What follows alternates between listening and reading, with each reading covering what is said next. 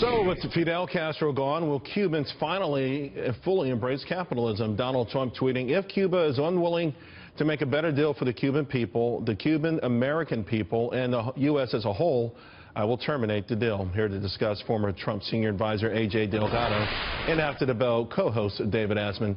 A.J. Delgado, uh, Raul Castro, uh, over the last decade or so, had implemented some, some things that people thought were a hint that when his brother passed away, maybe he would uh, bring in more wholesale changes because obviously changes in Russia and, and China over the last decade or so underscore the fact that communism don't work as if we needed a reminder.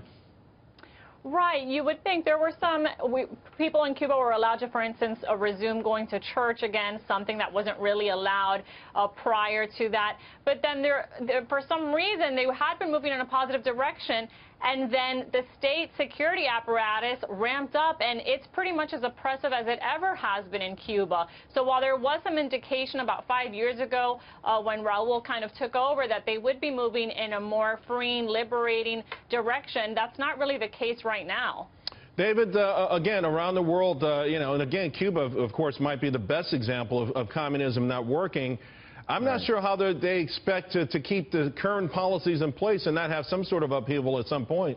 Well, eh, yeah, but I, I, honestly don't think Raul is the person to change anything. First of all, he's the guy who took out his own pistol and shot capitalist uh, hoarders, as he called them, in the back of the head back uh, in the beginning of the revolution. This guy's a murderer. He murdered business people for being business people. Uh, and he also has been the, in this game before where he opens up just a little bit and then when, when capitalism begins to flourish, because Cubans, as AJ can tell you, are natural entrepreneurs, when capitalism begins to really take off, he closes down again, uh, puts handcuffs on all the entrepreneurs. So it's this cat and mouse game that they've played for decades now, just allowing enough capitalism to save their, their butts when they need to, and then closing down when capitalism begins to take off. And of course, AJ, the irony on that particular note is that the first commercial flight from the U.S. lands the day that Fidel Castro passes away, I've got to believe the young young people there in that in that island nation, to, to David's point, have a certain DNA and they want more yeah. and they can do more, and maybe they'll be able at some point to demand more.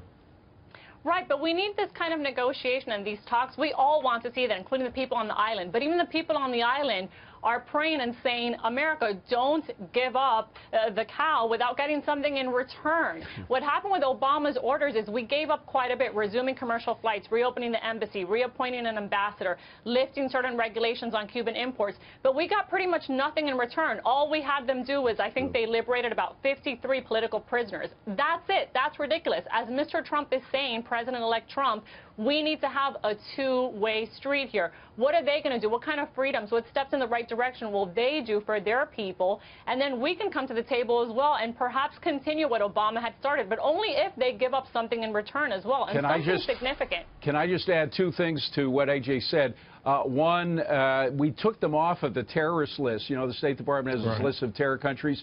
I mean, that's like taking Yasser Arafat off the terrorist list. They've been supporting terrorists all over the globe for as long as the revolution has been in power. Second thing, it's going to be very interesting to see if President Obama goes to Fidel's funeral. If he doesn't go, who does he send to go in, in uh, his stead? Uh, I mean, again, honoring somebody like Fidel Castro is sort of like honoring Pol Pot or Adolf Hitler. I, it would it would really be astounding to me if the president goes. If he goes, uh, boy, what a last step that would be in his presidency. Yeah, it would. I, I mean, listen, his statement was uh, was was just horrendous. Uh, uh AJ, you know, it, it offended everyone. Uh, but he wasn't the only one, right? We had the Canadian Prime Minister. You had a lot of well-known people in America, including the mainstream media, who almost lionized, put Fidel Castro on a pedestal. You know, I expect that from Trudeau. I do not expect it from President Obama. He is the leader of the beacon of freedom in the world, the leader of the United States.